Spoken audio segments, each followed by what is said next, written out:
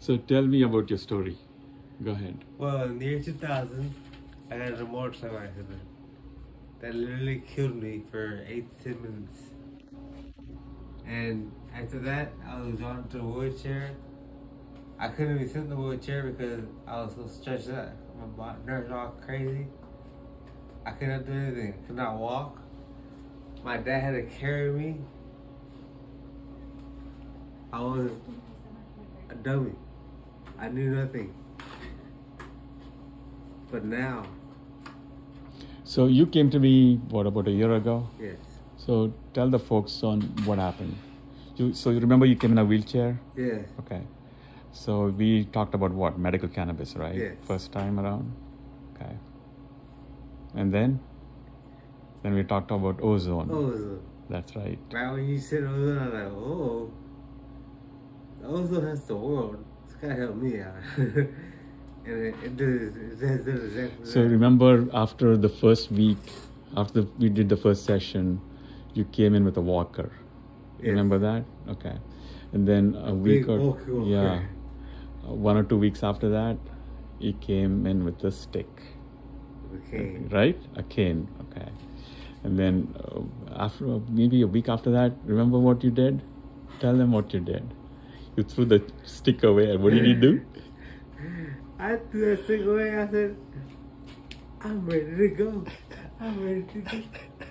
and you jumped up and down, man. You remember that? That blew my mind. I could not jump. Before, I, I was, my nerves all shot. I could not jump. And now I can jump. And look, he comes in today after a couple of weeks. This guy's been missing because he had issues with transportation and stuff like that. But man, oh man, I'm so proud of you, dude. You have no idea the inspiration you've provided to so many of my other patients. I talk about you with them all the time. I don't mention names, of course. This is But- to, because of you. Because of your knowledge of how to have it, to work with the body. no, I know. I'm just kidding. Because who else would do this? I know. I have not found anybody who do this. So all they did was after your accident, what put you into rehab, and that's it. Call it a day, right? Rehab for. At first, this was rehab. I was sitting in the room waiting, and the doctor came out and said, What is this? Why did y'all send me this meat? And I was like, My mom was like, No, this is it. I cannot do it with him. Get him out of here.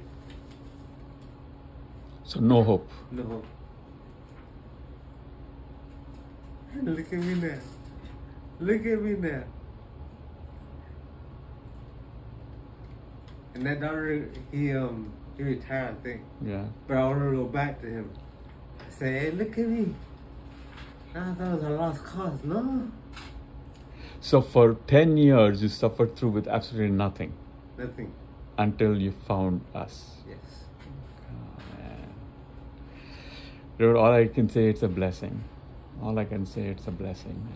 It's a blessing. I can't say it enough. I can't say it enough. You know, something that is working, that is even beyond my wildest imagination. When I tell people that I can make somebody who's paralyzed with a stroke and being able to walk within a few weeks, it's just too good to be true. They don't believe. And that's the reason I'm doing this video because I want people to see this proof.